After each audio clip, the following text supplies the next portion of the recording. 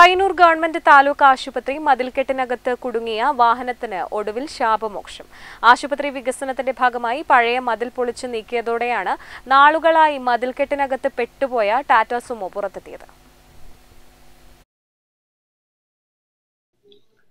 പയ്യന്നൂർ താലൂക്ക് ആശുപത്രിയിൽ സർക്കാർ വാഹനം പുറത്തിറക്കാൻ കഴിയാതെ ചുറ്റും മതിൽ കെട്ടി അകത്താക്കിയതിനെക്കുറിച്ച് മാധ്യമങ്ങൾ വലിയ രീതിയിൽ വാർത്ത നൽകിയിരുന്നു. സമൂഹ മാധ്യമങ്ങളിലും ഇതേക്കുറിച്ച് ട്രോളുകളുടെ പെരുമഴയായിരുന്നു. എന്നാൽ ആശുപത്രി വികസനത്തിന്റെ ഭാഗമായി ചൊവ്വാഴ്ച മതിൽ പൊളിച്ചു നീക്കിയതോടെ വാഹനത്തിന് ശാപമോഷം ലഭിച്ചു. സർക്കാർ നിയന്ത്രണത്തിലുള്ള Kerala health research welfare society കാര്യാലയത്തിന് മുന്നിൽ നിർത്തിയിട്ട വാഹനമാണ് ആശുപത്രി മതിൽക്കെട്ടിനകത്ത് നാളുകളായി കുടുങ്ങിക്കിടന്നത്. പത്തൊമ്പത് വർഷത്തിലധികം പഴക്കമുള്ള വാഹനത്തിന്റെ ഫിറ്റ്നസ് കാലാവധി രണ്ടായിരത്തി പതിനെട്ടിൽ അവസാനിച്ചിരുന്നു. മതിൽക്കെട്ടിനകത്ത് പെട്ടത് കാരണം പതിനഞ്ച് വർഷം പഴക്കമുള്ള വാഹനങ്ങൾ പൊളിച്ചു മാറ്റണമെന്ന സർക്കാർ ഉത്തരവ് നടപ്പിലാക്കാൻ മാർഗമില്ലാത്ത അവസ്ഥയിലായിരുന്നു അധികൃതർ. ആശുപത്രി വികസനത്തിന്റെ ഭാഗമായി ചൊവ്വാഴ്ച മതിൽ പൊളിച്ചു നീക്കി വാഹനം ഇവിടെ നിന്നും മാറ്റിയിട്ടു. വാഹനവുമായി ബന്ധപ്പെട്ട തുടർ നടപടികൾ വേഗത്തിൽ കൈക്കൊള്ളുമെന്ന് അധികൃതർ അറിയിച്ചു. കോവിഡ് കാലത്തെ സേവനത്തിനാണ് ആരോഗ്യവകുപ്പിന്റെ കെ എൽ ഒന്ന് എ ബി അമ്പത് മുപ്പത്തിയെട്ട് വാഹനം പയ്യന്നൂർ താലൂക്ക് ആശുപത്രിയിൽ എത്തിച്ചത്.